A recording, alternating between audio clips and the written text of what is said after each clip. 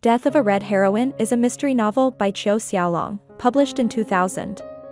Set in Shanghai in the early 1990s, Xiaolong explores the politics and rapidly shifting culture of modern-day China through the lens of a murder investigation. The story begins with the discovery of a body in the remote Baili Canal, 20 miles west of Shanghai. The investigation is assigned to Chief Inspector Chen, a member of the Shanghai Special Case Squad. Chen is not a typical police officer, he is an enthusiastic poet and not particularly interested in police work. He owes his rise in the department to the politics of the Communist Party.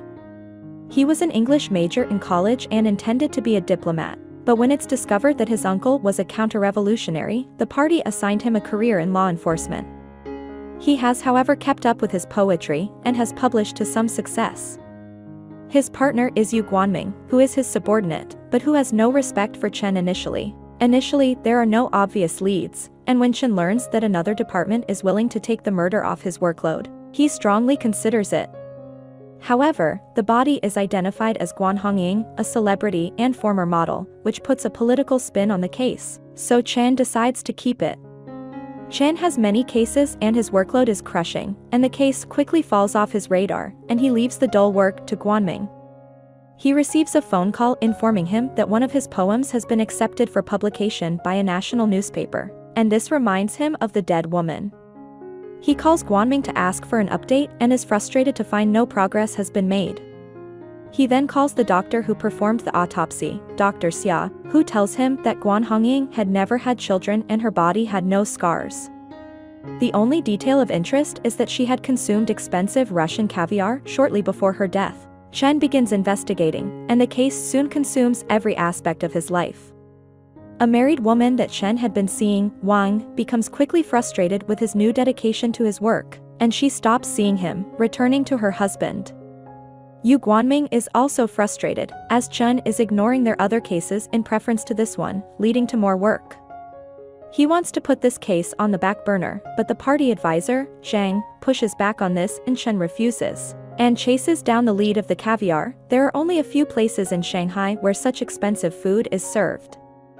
Chen begins to believe that Guan was not single, as was assumed, but rather had a relationship with someone powerful and wealthy. Someone with an interest in keeping the relationship secret.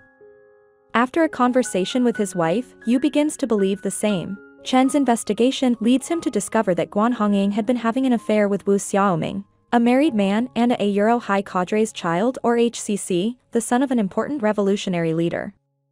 Although China is officially classless, there is definitely a hierarchy and Wu sits on top of it. It is suddenly very dangerous for Chen and Yu to pursue the investigation. Chen, already feuding with Zhang, realizes he is very vulnerable, and he is troubled by the fact that he can find no motive for Wu to have murdered Guan.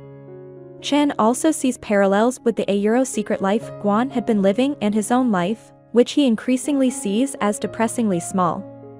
He questions whether his refusal to commit to police work has been a foolish waste of time.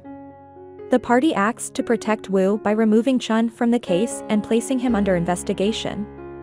Chen reaches out to an old college girlfriend, Ling, who uses her political connections to help him continue his investigation.